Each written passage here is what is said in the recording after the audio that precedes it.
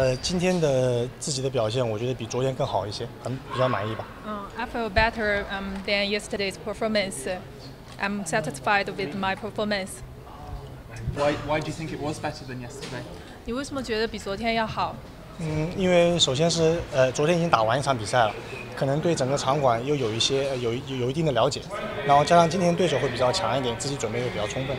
Okay, um, because yesterday I have finished the first round, so I feel better about the court, and uh, because and uh, also today's uh, opponent uh, he's strong, so I've been ready and I have um, lots of preparation for today's performance.